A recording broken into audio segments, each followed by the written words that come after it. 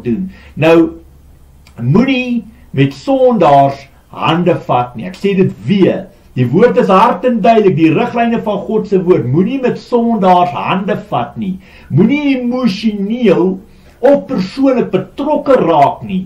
Dit kan jou val beteken. My liewe broer suster, ek het eerste graad ondervinding van dit. Dit trek jou partykeer af as jy nie altyd vleeslik die vrug en seën sien nie, maar op die einde van die dag omdat jy emosioneel betrokke raak, te persoonlik betrokke raak, dat dan dan trek mense jou af. Al die wat geniet om in sonde te leef, pas op vir dit. As jy een keer gespreek het, is hulle bloed van jou hande af. Ek sê dit weer, as jy een keer gespreek het, is hulle bloed van jou hande af. Kyk hoe het Paulus opgetree. Kyk hoe het hy ons kom leer. Luister na sy vermaanings. Daar staan geskrywe 1 Korintië 5 vers 1 tot 6. 'n Mens hoor werklik van onseelikheid onder julle en dan nogal onseelikheid van so 'n aard as wat selfs onder die heidene nie voorgekom het nie. Naamlik dat 'n man en sy stiefma as man en vrou saamleef en dan verbeel julle julle nog julle is beter as ander. Moes julle nie liewer daaroor getreur het nie? So sou julle die man wat so iets gedoen het uit julle kring verwyder het.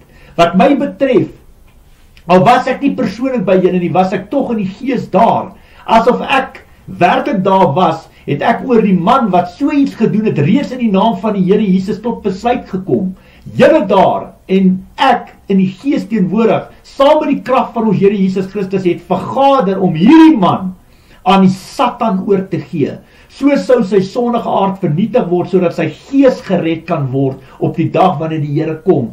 Julle self verheffing is nie mooi nie. Weet julle nie dat 'n bietjie suurdeeg die hele deeg deurtrek nie? Jy sien wat dit Paulus ons kom leer. As 'n persoon so sonde wil lewe, gee hom oor aan Satan dat hy woestynwêreld toe gaan. Verstaan jy as ek en die Here jou nie op jou knie bring nie, sal Satan dit vir jou doen. En dit is hoe dit werk. As mense sonde wil vaar, vat jy daai persoon, na jy hoef ek met hom gepraat en vermaan en dan gee hom oor in die mag van Satan. Jy bid daaroor. Jy sê Here, hierdie persoon het nie ore nie. Hy wil nie luister nie. Hy weet om van die God se genade van Jesus se kruis tot 'n bespotting te maak. Vader, ons gee hom oor in in in in die aan Satan en dat hy eh, dat hy laat die woestynwêreld toe gaan. Daar sal die woestynwêreld is nie 'n lekker plek om te wees nie. Baie baie belangrik. Kom ons lees wat sê Matteus 18 vers 15 tot 17. As jy 'n probleem het met iemand, vertel ons as Christen as jy 'n probleem het met iemand of dit 'n familielid, 'n vriend of vriendin is of 'n werkgewer of werknemer of 'n ander kultuur, ras, Matteus 18 as jy vandag vir my sê jy's 'n Christen, dan wys hierdie skrif vir jou hoe om op te tree teenoor 'n medebroer, 'n medesuster in die een liggaam van Christus. Hoe tree jy op as daai persoon jou leed aangedoen het? Hoor die woord van die Here. As jou broer of jou suster verkeerd opgetree teen jou, gaan wys hom tereg waar jy eenkant alleen is. As hy na jou luister, het jy jou broer teruggewen. Maar as hy nie luister nie, neem nog een of twee met jou saam sodat alles wat gesê word deur die woord van twee of drie getuies bevestig kan word. En as hy na hulle nie luister nie, sê dit vir die gemeente. As hy ook nie na die gemeente wil luister nie, moet jy hom as 'n heiden, as 'n tollenaar behandel. Verstaan jy, as hy nie volgens die weë van God se woord wil handel en volgens die riglyne van wat God op die tafel gesit wat die Heilige Gees ons leer, as hy nie wil hoor nie, jy het genoeg met hom gepraat, genoeg gepraat, dan moet hy gaan. Verstaan jy, dan moet jy hom oor dan behandel hom as 'n sondaar, as 'n tollenaar, as 'n heiden. Alraai. Nou Jakobus 2 vers 9 Ek lees dit vir julle in die 1933-53 vertaling. Sê die Here hart en duidelik Maar as julle partydig is, doen julle sonde en word deur die wet as oortreders bestraf. Verstaan jy, toe daai mans oorry of hulle dronk was of nie oor dronk was nie, om daai ander om om die pa en die seun te slaan, dan dan dan kan ek nie kant kies nie. Verstaan jy? Jy kan nie die pa se kant kies nie, jy kan nie die seun se kant kies nie, jy kan ook nie dronkmense se kant kies nie, nog minder vir Satan, ook nie jou eie ek nie. Jy moet doen wat die Heilige Gees vir jou sê. Verstaan jy? Dan die Bybel is jou riglyn, jou kompas om vir jou te wys dat die besluite wat jy maak, dit wat jy ontvang, toets jy met die woord en natuurlik leef jy dit uit. Baie baie jy moet altyd onpartydig en niemand se kant kies. Jy moet altyd as direkte verteenwoordiger van God se koninkryk moet jy die voorbeeld stel. Jy moet die lig vir die wêreld wees, jy moet die sout van die aarde wees. Sout brand, sout irriteer. En dit wat belangrik is hierso, jy moet vir die Here en sy koninkryk opkom en nooit Jesus Christus se naam in oneer bring nie. Dan baie baie belangrik, nog 'n voorbeeld, 1 Korintië 5 vers 9 tot 13. Hoor hierdie woord. Uh, 1 Korintië 5 vers 9 tot 13. In die vorige brief het ek aan julle geskryf om nie met mense om te gaan wat in onsedelikheid leef nie. Daarmee het ek glad nie die onsedelikheid of die geldgieriges bedreef of bedrieërs of afgodsdienaars van hierdie wêreld bedoel nie, wat om hulle te vermy sou julle die wêreld moes pad gee. Wat ek geskryf het was dat julle nie moet omgaan met iemand wat homself 'n gelowige noem. Verstaan jy? En maar wat in onsedelikheid of geldgierig of 'n afgodsdienaar of 'n kwaadpraat of 'n verdronkaard of 'n bedrieër is nie. Met so iemand, hoor die woord, met so iemand moet jy nie eers saam eet nie. So jy moenie eers saam met hulle eet nie. Beslot van rekening is dit nie vir my om om die mense uh, uh, uh om oor mense buite die gemeente te oordeel. Dis wêreldse mense. God sal oor hulle oordeel. Maar julle moet oor julle eie mense oordeel. Verwyder die slegte mense onder julle uit. Jy sien hier is die skrif wat vir jou sê vir 'n dominee, pastoor, leraar, priester, profeet vir 'n vir geestelike leier wat vir my sê verwyder die slegte mense onder julle uit. As hulle nie oor het, hulle wil nie luister nie, gee hulle oor aan die Satan, stuur hulle woestyn wêreld toe. Bid vir 'n siene natuurlik, maar dat die Here hulle sal vorme maak en dat hulle daarso daar gaan hulle tot inkeer kom. Is 'n moeilike plek om te wees. Is nie 'n lekker plek om te wees nie. Nou En nog 'n skrif wat die Here vir my gee om vir julle te wys, is Hebreërs 10, Hebreërs 10 vers 26 tot 31. God straf opsetlike sonde. Ek sê weer, God straf die opsetlike sondes. Verstaan jy, baie keer kom die noodlot op 'n noodlot op jou af. Dan moet jy begin vra vra en kyk na jouself, hoe jy lewe. Hoor die woord van die Here. Wanneer ons opsetlik bly Sondag nadat ons die kennis van die waarheid ontvang het, is daar geen offer meer wat ons sondes kan wegneem nie. Daar bly alleen 'n verskriklike verwagting oor van oordeel en 'n gloeiende vuur wat die teenstander van God sal verteer. As iemand die wet van Moses oortree en twee of drie getuies bevestig dit, word hy nie begenadig nie. Hy word doodgemaak. Dit was hoe dit gehandel was in die tye voor Jesus Christus gekom het. Hoeveel swaarder straf dink julle sal hy kry wat die seun van God verag het? Die bloed van die verbond waardeur hy geheilig is geminnig het en die gees van genade beledig het.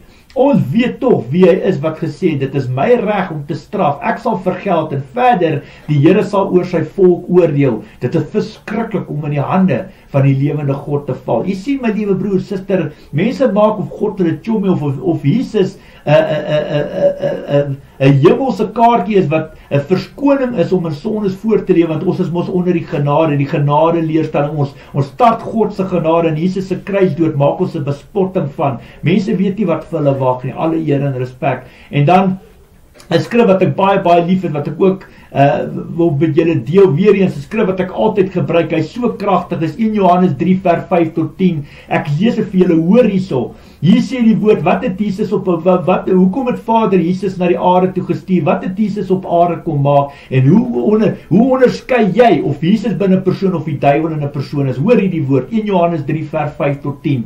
Julle weet dat Jesus gekom het om die sondes weg te neem en daar is geen sonde in hom nie. Iemand wat in hom bly, hou nie aan met sondig nie. Iemand wat aanhou sondig het hom nie gesien nie en ken hom nie. Liewe kinders, Moenie dat iemand julle mislei nie. Wie regverdig lewe is regverdig soos hy regverdig is. Wie aanhou sonde doen, behoort aan die duiwel, want die duiwel hou van die begin af aan met sondig en die seun van God het juis gekom om die werk van die duiwel tot nie te maak. Iemand wat 'n kind van God is, doen nie meer sonde nie omdat die gees van God in hom bly en hy kan nie meer sondig nie omdat hy uit God gebore is. Hieraan is dit duidelik wie kinders van God en wie kinder van die duiwel is. Iemand wat nie regverdig lewe nie, nie sy broer liefhet nie, behoort nie aan God nie. Jy sien hart en duidelik, as jy in sonde voortlewe, dan is dit my teken dat daar 'n absolute groot probleem met jou. Ek sê nie jy het nie die Heilige Gees ontvang nie, maar daar's heel duidelike probleem met jou, omdat jy volhard in sonde en uh, ons gaan nie die pad saam kan stap terwyl jy in sonde volhard nou hoeveel vermaanings nie, definitief nie. Nou ek wil vandag vir elke geestelike leier, elke dominee, pastoor, leraar, priester, profeet, wil ek vandag sê vir elke Christen kind van God bly gefokus, bly sterk. God sal altyd altyd voorsien. Jesus se lewe op aarde is 'n voorbeeld vir elkeen van ons. Hy het dit nie maklik gehad nie. Daar was nie sonskyn en rose, maanskyn en rose vir hom gewees nie. Hy het dit moeilik gehad op aarde. Die Bybel is jou getuieskrif vertaai van Jesus se grootheid en ook selfs Petrus, Paulus, Stefanus, Jakobus, Johannes, eh, die doper as voorbeeld vir ons. Kyk wat is daai manne deur vir die egte suiwer evangelie van Jesus Christus. Kyk die moeilike pad wat hulle moes stap om die werk van die Here te doen. En dit wat ek vandag vir jou wil sê, dat as jou geloof jou niks kos nie, beteken dit ook niks nie. Ek wil ook vandag vir sê om geestelik te bedien, om geestelik te bedien, uh, te beraad of uh, om voor te stap is nie 'n maklike werk nie my liewe broer en suster ek erken dit vandag dit is nie 'n maklike werk nie nêrens in die Bybel sê God vir ons dit sal maklik wees nie die wêreld sal ons haat want ons is nie meer deel van die wêreld nie. Dis werklik so. My my liewe broer suster, is 'n verskriklike moeilike werk hierdie omdat ons deur absolute groot beproewings en verdrukking gaan, groot geestelike aanvalle wat op ons geloot word, definitief. Nou soms is dit 'n baie ondankbare, 'n eensame werk want jy praat wat mense nie wil hoor nie. Mense hou nie van tug, teregwysing of vermaaning nie. Hulle wil nie goeie, hulle vertaai, hulle wil net, hulle wil net goeie nuus hoor. Vertaai, hulle wil hulle ore laat streel. Vertaai, dis hoekom, dis 'n baie ondankbare. Vertaai, jy, jy, jy baie mense wil net hoor wat hulle wil hoor. Vertaai nou En baie keer is daar geen ondersteuning of of belangstelling nie. Uh almal lewe net vir hulle self. Hulle verstaan nie die een liggaam van Christus nie. Hulle verstaan nie die bruid van Jesus nie. Hulle verstaan nie die geestelike aspek van ons geloof nie. Punt. Daar daar is geen ander redes daarvoor nie. Nou min mense stel belang. Skies tog. Min mense sal bel of vir jou boodskap stuur en vra, luister die hond, uh, hoe gaan dit met jou vandag of hoe gaan dit met jou huisgesin? Hoe gaan dit met jou vrou, jou kinders, jou man? Uh, uh verstaan, kan ek vir jou bid? Uh, kan ek jou help met iets? Kan ek jou bystaan? Jy kry nie so iets in hierdie werk nie. Nie my liewe boetie en sussie. Dit gebeur bitter min, selfs selfs nooit nie. Baie Christene hou van die gemaksones van hulle eie stoele. Hulle wil absoluut niks doen nie. Hulle wil nie betrokke raak nie. Terwyl alles met hulle goed gaan, is daar nie 'n probleem nie. Alles is alright. Tot die dag as realiteit hulle tref tot die dag wat iemand gedoop, getrou of begrawe moet word, dan is hulle eerste in die ry wat bakkant staan, wat wat wat gehelp moet word. Ek het nie woorde vir sulke tipe mense nie, my liewe broer en suster. Daar's net een manier om daaroor te kom of daarmee te deel. Bou 'n brug en kom daaroor. Moenie dat mense jou terughou of jou tot 'n val bring nie. Daar staan geskrywe. Luister mooi na hierdie woord, Matteus 25 vers 29 en 30. Aan elkeen wat het, sal meer gegee word en hy sal oorvloed hê. Maar van hom wat nie het nie, sal ook die bietjie wat hy het weggevat word en gooi die nuttelose slaaf uit die diepste duisternis daar buite. Daar of in die diepste duisternis daar buite. Daar sal hulle huil en op hulle tande kners. Jy sien as jy wil terug lê en kyk hoe ander mense die werk doen, jy wil absoluut niks doen nie. Is hierdie skrifgie vir jou? Verstaan jy jy jy, jy moet maar weet. Verstaan jy dit elkeen van ons moet ons kruise dra. Jy kan nie van die van 'n kant af sit en kyk hoe ander mense die werk doen en jy wil nie die lekkerte van die lewe hê nie. Jy wil nie eens hande vat en saam bid of ondersteun nie. En uh dis skok en daar's so baie mense hier buite wat so handel. Nou